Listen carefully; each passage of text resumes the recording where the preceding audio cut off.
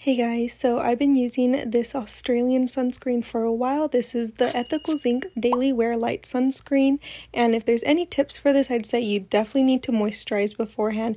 It is super, super thick, probably the thickest sunscreen I've ever used. And some may not like the fact that it takes a while to rub this in. I've been rubbing it in for like five minutes and I still think I could rub this in longer. It leaves a very heavy white cast, which does die down a little bit after it sinks in. I'd still rate it about a four. Luckily, if you're moisturized, I think this is okay for those with dry skin, even with reapplication, but I think it is best for oily skin.